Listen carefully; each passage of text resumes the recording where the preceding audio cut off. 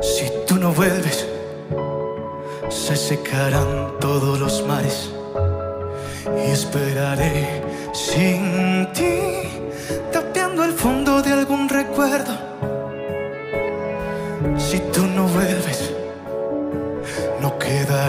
Más que desiertos y escucharé por sí algún latido le queda a esta tierra que era tan serena cuando me querías.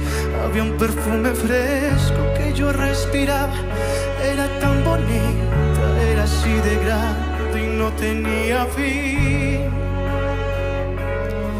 Y cada noche vendrá una estrella a hacerme compañía. Te cuente cómo estoy y sepas lo que hay.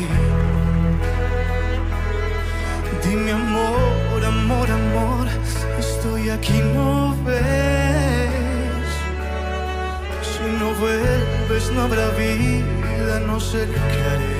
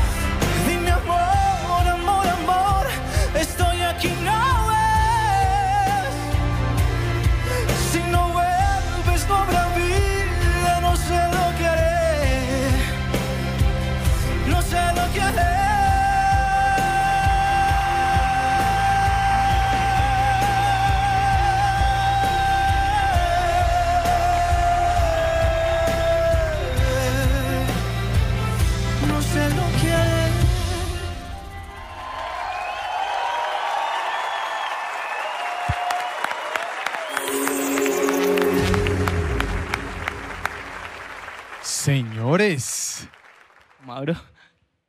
qué maravilla. Felicitaciones. Aplausos para los maestros. Don José. Muchísimas gracias.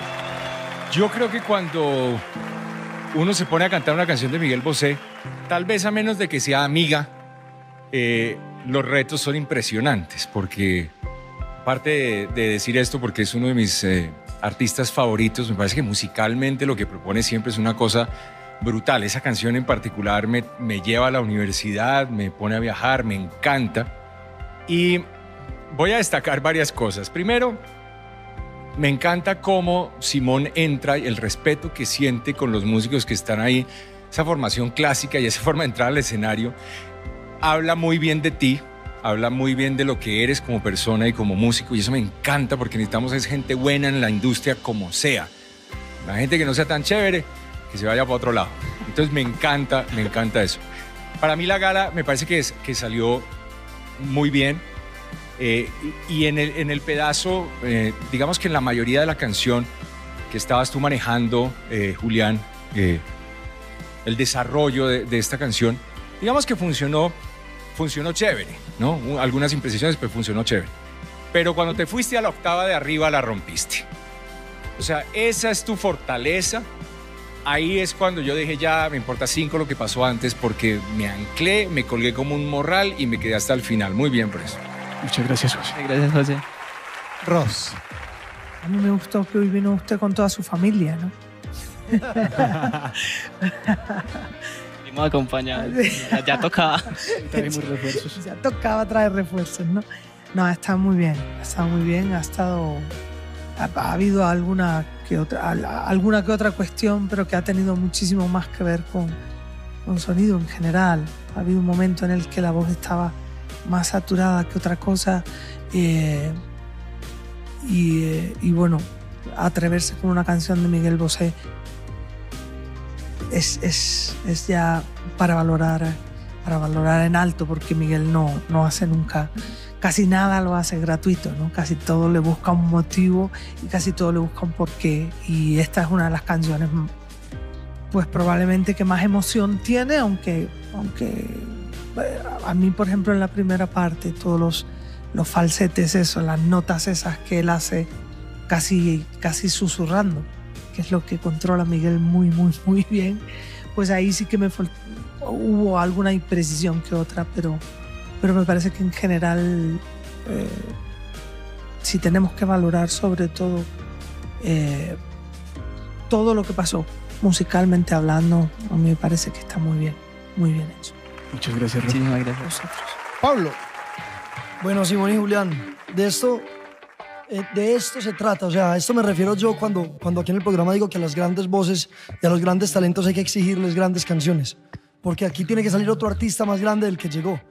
Y ustedes acaban de hacer una cosa que es muy difícil. Es muy difícil cantar a Miguel Bosé. Miguel Bosé habla susurrado. Los que hemos tenido el placer de, de hablar con él, él te habla, te habla como canta en la primera parte de la canción. Y uno le tiene que poner mucha atención. Y es muy difícil, muy difícil hacer eso con el control que lo hiciste, Julián. Más allá de todo esto, la puesta en escena, vos dirigiendo a todas las cuerdas y, y a, los chelos y el, y el contrabajo me pareció brutal, me pareció brutal. O sea, estoy enamorado de esta gala Ojalá Colombia la vea muchas veces y ojalá sea parte de su show cuando salgan de acá porque la hicieron impecable. Muchas gracias, Juan. Gracias.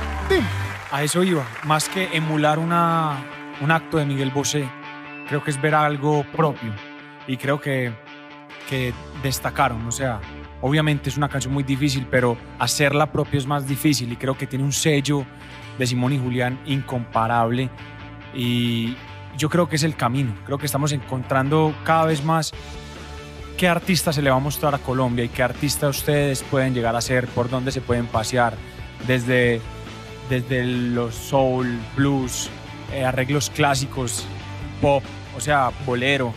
Ustedes están ahí, ¿me entienden?